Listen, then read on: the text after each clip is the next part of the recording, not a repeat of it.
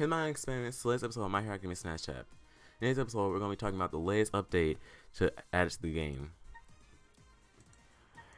And we're going to hop right into the EX event, which is actually a Battle Royale. We can get this uh, Kaminari right here.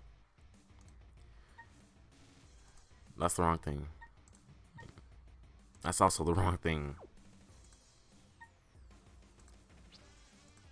But uh, you get him in this menu, the TP menu, and you, you only need a thousand points for him to get your first one. Uh, and I think as you keep winning, you get more and more. Uh, I think the yeah these are the rewards. So you know, depending on your rank, you'll get these rewards, and they and you get your rewards daily, which is really nice as opposed to you know having to hold your rank for an entire week just to get the rewards you want. And uh, this is the new Kaminari. His his stats aren't really all that, but it is a Kaminari unit, so I don't really think that I mean people care about him. So I doubt they would make him like really good. But the thing that we I think we all care about the most is the new banner that add, that got added to the game. We have a blue Deku, a blue five star Deku, and a yellow five star Uraraka let's start with Deku. Deku's passive is attack plus 15 and HP plus 15 and reduces damage from green units by 15%. And his smash attack is it's, it's exact same as uh that EX full power Deku. He just rushes forward. And he gains an attack boost for 10 seconds. And his stats are 6k health, 5k attack, and 4k defense. And now on to Uraraka. Her passive is reduce damage from purple units by 15% and consume 10% less SP. Her smash attack is she floats in the air and then a star comes down and attacks everything in front of her. And it gives her an attack, defense, and speed boost for her and her allies for 10 seconds. That's actually a lot better than I was expecting, actually. Her stats are 7k health, 4k attack, and almost 5k defense. Almost.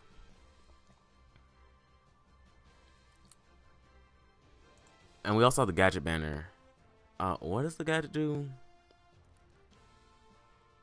Deku's increases increases Deku's health by 70, his attack by 60, and his defense by 60, and his SP by 10. And if you have a balanced class unit, which is why I assume this new Deku is, it, it, increases their attack by 11%. And Uraraka's ribbon gives SP 7 7% SP for yellow units. And when it's put on Uraraka, it gives her plus 50 plus 150 HP and 120 defense.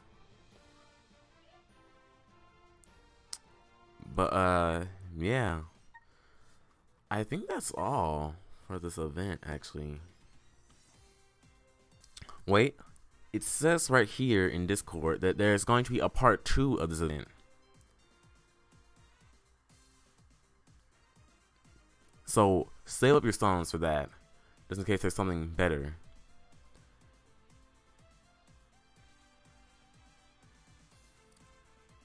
And uh, yeah, I think that's it.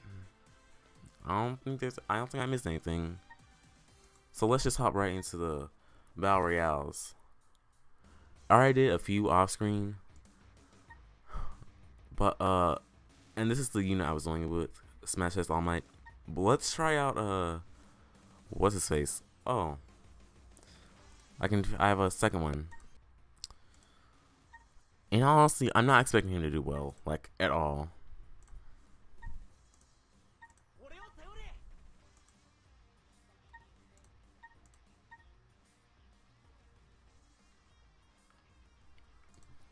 I'm I'm playing on three All Might dolls just because in in battle royales you just you just need to nuke basically. That's all that really matters. That's the best way to defeat your opponent, just nuking them.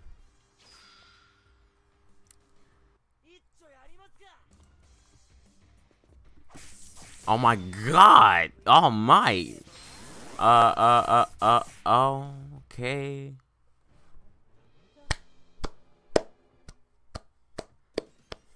Lovely, dog. Lovely.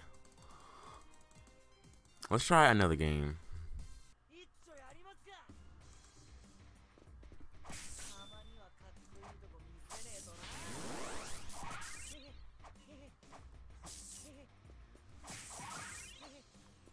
I have to actually try and dodge. Oh! Yeah, I had to do it slower because he's moving slower. Well, we actually won that time.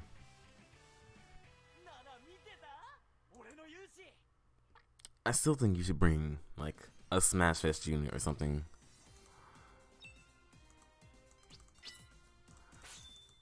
Cause if that was Smash's All Might, I wouldn't have lost that first match. I would have just instantly killed that man. Or at worst, like, almost killed him and had to do like two punches. So if you guys enjoyed this episode, make sure to leave a like, subscribe, and I'll see y'all next time. Bye guys.